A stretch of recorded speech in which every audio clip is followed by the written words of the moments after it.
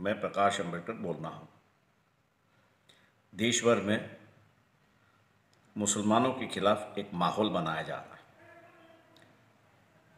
उनको मारा जा रहा है। उनकी जान और माल दोनों की सरकार हिफाजत नहीं कर सकती, ऐसी परिस्थिति है। और मुस्लिम समाज जो है, एक मित्रता की ओर देख रहा है। मैं तमाम अंबेडकर वादियों से ऐलान करता हूँ। उसी तरह वाल्मीकि समाज है जाटो समाज है, चमार समाज है, रेगड़ी समाज है और अन्य दलितों से कहता हूँ कि बाबा साहब ने हमको आदेश दिया था कि हम सत्ताधारी बने। आज एक मौका है, मैं मानता हूँ, सत्ताधारी होना का।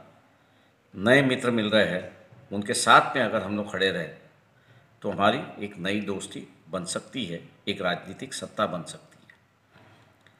जिस तरह से मुसलमानों के खिलाफ सभी कानून हैं, उसी तरह दलितों के खिलाफ भी ये कानून है, ईसाइयों के खिलाफ भी ये कानून है।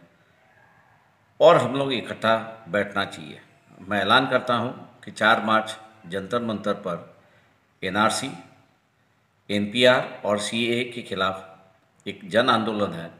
आप सभी जन चार मार्च को जंतर मंतर पर पहुँच हम इकट्ठा हुआ है ये नई दोस्ती का ऐलान कर दीजिए और एक नई शुरुआत कर दीजिए। इन्हीं बातों के साथ मैं रजा लेता हूँ। जय भीम।